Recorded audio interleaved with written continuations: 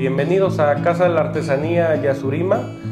Estamos manejando la madera, las figuras que están hechas de resina, figuras aztecas, figuras de budas.